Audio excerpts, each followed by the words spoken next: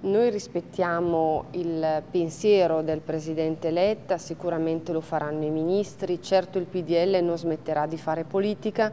non eh, farà alcun passo indietro rispetto alla difesa sacrosanta del Presidente Berlusconi e rispetto anche a quelle che sono le nostre posizioni politiche, ovvero l'urgenza di una riforma della giustizia che ristabilisca i diritti della difesa, i principi del giusto processo, che vada verso la riforma delle intercettazioni per garantirne un uso legittimo. E tutto questo ricordo che è contenuto nel documento dei saggi sagge, quindi non rappresenta una proposta eversiva, ma un qualcosa che eh, come dire, anche in quel documento viene tenuto presente a significare che il tema giustizia in Italia esiste ed è un tema da affrontare. Certo, dopo le questioni economiche, noi appoggiamo il governo Letta perché riteniamo che oggi la crisi economica sia la vera emergenza e crediamo che sia più facile su queste questioni economiche, penso all'IMU, penso alla riduzione del costo del lavoro, penso all'assunzione dei giovani, trovare una soluzione condivisa.